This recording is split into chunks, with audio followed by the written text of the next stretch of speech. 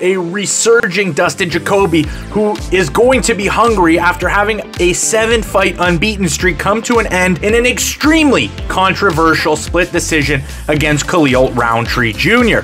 Being cut by the UFC in 2012, Jacoby started a kickboxing career beside his mixed martial arts one. He started his career resurgence in 2019, going nine fights unbeaten, featuring knockouts of Justin Ledet, Darren Stewart, and Da Eun Jung. He'll face off against undefeated Russian Azamat Murzakanov, who has two straight UFC finishes and a performance of the night bonus. Murzakanov has not looked unbeatable insofar as his UFC career has shown. However, he has shown both power and durability, recording a knockdown in his pair of UFC bouts and his contender series showing. The combined 20 knockouts between these two fighters has left me uncertain. But if I were to play it, I'd either lean towards Azamat Murzakanov at plus 165 or the very sweaty, over to an.